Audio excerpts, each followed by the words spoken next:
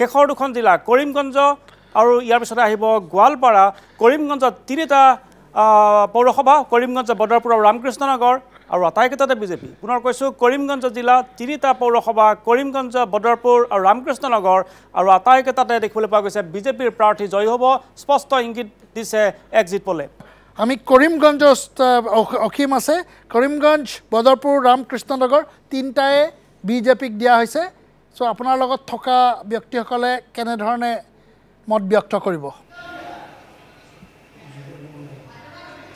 হয় জাৰিৰ কৰিমগঞ্জৰ তিনিটা যি পৌৰসভা আছে ৰামকৃষ্ণনগৰ বদৰপুৰ আৰু কৰিমগঞ্জ পৌৰসভা সেই তিনিটা পৌৰসভা বিজেপিৰ দখলত যাব।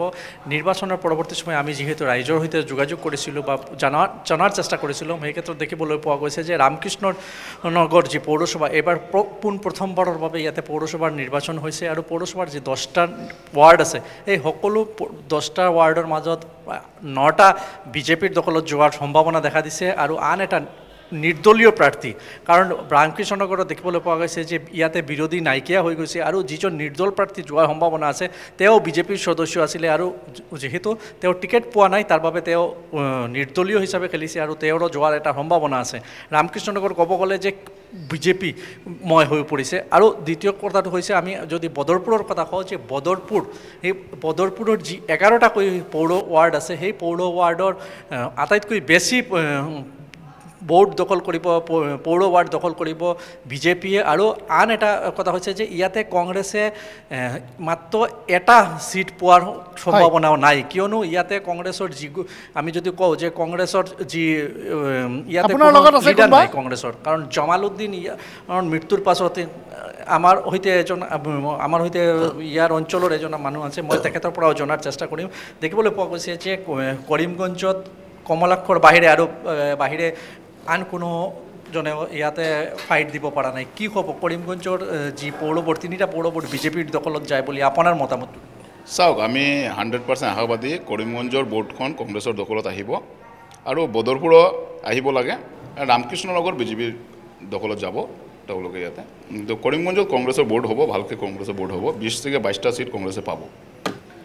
হয় আপোনাক ধন্যবাদ জনাইছোঁ। আমাৰ শেহতীয়া যি আশীৰ ভিতৰত আশীখন যি আমাৰ তালিকা আছে সেইকেইটাৰ ভিতৰত যদি মই চাওঁ বৰ্তমানৰ সময়ত বিজেপি ঊনসত্তৰ দু দুখন বিজেপি অগপৰ হাতত আছে তেতিয়াহ'লে আমি যদি মিত্ৰজোঁট হিচাপে চাওঁ এসত্তৰখন হ'ল। আৰু আমি যদি চাওঁ যে ফিফটি ফিফটি নটা এই ফিফটি ফিফটি নটাৰ ভিতৰত কোন আছে? এই ফিফটি ফিফটি নটাৰ ভিতৰত কংগ্ৰেছ আৰু বিজেপিৰ মাজত তিনিখন ফিফটি ফিফটি আছে। যদি মেক্সিমামতকৈ মেক্সিমাম কংগ্ৰেছে পায় তিনিখন পাব। ঠিক তেনেকৈ অগপৰ তিনিখন আছে। অগপ আৰু বিজেপিৰ মাজত কথাটো একেই। যদি আমি প্লাছ থ্ৰী ইয়াত কৰি দিওঁ তেতিয়াহ'লে ছেভেণ্টি ফ'ৰ অলৰেডি হৈ আছে। এখন এ আই ইউ ডি এফৰ হাতত আছে।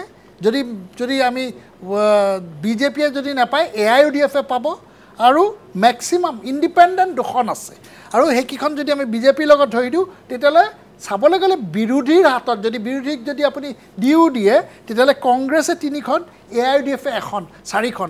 আৰু যদি এ নিৰ্দলীয়খিনি যদি মিত্ৰজোঁটৰ লগত যোগদান কৰে তেতিয়াহ'লে ছেভেণ্টি ছিক্স।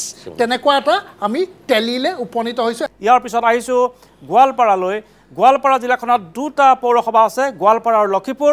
গোৱালপাৰা পৌৰসভাত পঞ্চাছ শতাংশ সফলতা পঞ্চাছ শতাংশ আমি দেখিবলৈ পাইছোঁ যে কংগ্ৰেছ আৰু বিজেপি কংগ্ৰেছ আৰু বিজেপি। বিজেপিৰ মাজত আৰু লক্ষীপুৰত দেখিবলৈ পাইছোঁ বিজেপিয়ে বিজয়ী হোৱাৰ সম্ভাৱনা প্ৰকট হৈছে। আৰু এই মুহূৰ্তত এই দুইখন জিলা দিয়াৰ লগে লগে অসমৰ আশীটা পৌৰসভাৰ ফলাফল আমাৰ হাতলৈ আহিল। আশীটা ফলাফলত দেখিবলৈ পোৱা গ'ল যে বিজেপিয়ে বহু যোজন দূৰত আগবাঢ়ি গ'ল আৰু বিজেপিয়ে বাকী সকলোকে পিছত পেলাবলৈ সক্ষম হ'ল।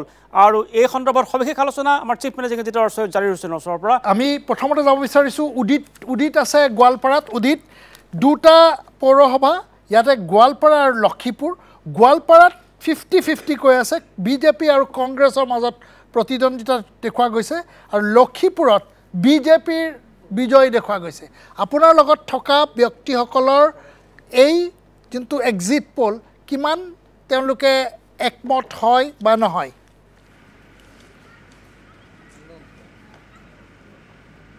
হয় নিশ্চয়। মই প্ৰথমে এটা কথা ক'ম যে গোৱালপাৰা জিলাখনত যি চাৰিটা বিধানসভা সমষ্টি আছে আৰু চাৰিটা বিধানসভা সমষ্টিতে আচলতে কংগ্ৰেছৰ বিধায়ক আছে। আৰু দেখা গৈছে যে গোৱালপাৰাত যিহেতু দুটা পৌৰসভা আছে লক্ষীপুৰ পৌৰসভা আৰু গোৱালপাৰা পৌৰসভা আৰু এক্সিট পোল মতে আচলতে লক্ষীপুৰ পৌৰসভা বিজেপি দখল দখল কৰিব আৰু গোৱালপাৰা পৌৰসভাও বিজেপি দখল কৰাৰ সম্ভাৱনা আছে। আৰু মোৰ লগত একাংশ লোক আছে তেওঁলোকৰ সৈতে কথা পাতি মই প্ৰথমতে আপোনাক ওলাইছোঁ যিহেতু নিৰ্বাচন গ'ল কাইলৈ ফলাফল কি দেখিছে আপোনালোকে? কোনে গঠন কৰিব বুলি? যোৱা কেইটা দিনত যিটো আমি চাৰিওফালে ঘূৰি দেখিলোঁ গোৱালপাৰাত প্ৰায় ঊনৈছটা ৱাৰ্ড আছে। আমি ঊনৈছটা ৱাৰ্ডতে সাধাৰণ নাগৰিক হিচাপে আমি ঘূৰি ফুৰি দেখিছোঁ যে বিজেপিৰ এটা এটা ঢৌ এতিয়াও আছে আৰু তেওঁলোকৰ যিটো প্ৰচাৰ আমাৰ দলৰ যিটো ৰাজ্যিক সভাপতিকে আদি কৰি বহুত ষ্টাৰ কেম্পেইনাৰ গোৱালপাৰাত আহিছে। তেনেকুৱা তুলনাত আৰু কংগ্ৰেছৰ তেনেকুৱা আমি খুব ভাল লিডাৰ গোৱালপাৰাত প্ৰচাৰ কৰা দেখা নাই। আৰু মানুহৰ লগত কথা পাতি আমি যিখিনি বুজিছোঁ ঊনৈছটা ৱাৰ্ডৰ ভিতৰত বিজেপিয়ে দহটাৰ পৰা বাৰটা ৱাৰ্ড দখল কৰি পৌৰসভা গঠনৰ দিশত প্ৰবল এটা সম্ভাৱনা আমি দেখা পাইছোঁ। মই আপোনাক ওলাইছোঁ কি হ'ব কালি ফলাফল? ইতিমধ্যে বিজেপিয়ে দখল কৰাৰ পূৰ্ণ সম্ভাৱনা আছে লক্ষীপুৰ আৰু গোৱালপাৰা হয় গোৱালপাৰা আমি দেখিছোঁ গোৱালপাৰা আমাৰ যিখিনি কেলকুলেশ্যন মতে আমি বাৰৰ পৰা তেৰটালৈকে পাব আকৌ তাত নিৰ্দলীয় জিকিব বুলি আমি এটা অনুমান কৰিছোঁ। আৰু লক্ষীপুৰ পৌৰসভাতো আমি দহখন দহটা ৱাৰ্ডত দহটাতে বিজেপি জিকিব বুলি ইতিমধ্যে আমি কিছুমান সতীৰ্থৰ পৰা গম পাইছোঁ। নিশ্চয়কৈ মই আপোনাৰ কাষ ওলাইছোঁ যিহেতু কালি ফলাফল কি দেখিছে কি হ'ব?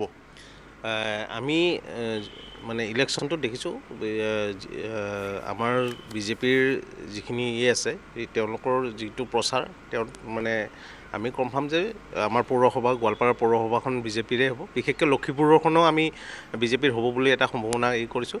কিন্তু তথাপিও আৰু দুই তিনিটা ৱাৰ্ডত নিৰ্দলীয় বা কংগ্ৰেছেও জয়লাভ কৰিব পাৰে কংগ্ৰেছৰ বিধায়ক আছে গোৱালপাৰাত। কি ক'ব এইবেলি? গোৱালপাৰাত আমাৰ আজি যোৱা বেলিও যোৱা পাঁচটা বছৰ ধৰক কংগ্ৰেছৰ বিধায়কৰ দখলতে আছিলে এই বছৰ কংগ্ৰেছৰ দখলতেই আছে বিধায়কৰ। কিন্তু আচৰিত বিষয় হৈছেতো এনেকুৱা এটা পৰিস্থিতি হৈছে বিধায়কৰ যিটো ৱাৰ্ডত থাকে সেইটো ৱাৰ্ডৰেই মেম্বাৰটো মানে কংগ্ৰেছৰ প্ৰতিদ্বন্দ্বিতা অকণমান হাৰাৰ পিনে আমি এটা অনুমান কৰিব পাৰিছোঁ সাধাৰণ নাগৰিক হিচাপে। মানে বিজেপিৰ যিটো প্ৰচাৰ ঢৌ হৈছে বা জনসাধাৰণৰ যিটো আমি হেৰি দেখাব বিজেপিৰ প্ৰতি যিটো মানে ছাপৰ্ট যিটো দেখা পাইছোঁ সেইটোৰ ফালৰ পৰা আমি ক'ব পাৰোঁ। আপুনি কি দেখিছে এইবাৰ? মই গোৱালপাৰা পৌৰসভাৰ কেইবাটাও মই ৱাৰ্ডত ঘূৰিলোঁ। এই ঊনৈছটা ৱাৰ্ডৰ ভিতৰত আমাৰ ভাৰতীয় জনতা পাৰ্টীয়ে বাৰৰ পৰা তেৰটা দখল কৰিব বাকী যি ছটা থাকিব সেই ছটা কংগ্ৰেছ আৰু নিৰ্দলীয়ৰ মাজত ভগাই ল'ব পাৰিব। কংগ্ৰেছৰ অৱস্থা খুব বেয়া। ভাল নহয় ভাল নহয়। আজিকালি চবেই বিজেপিমুখী হৈছে।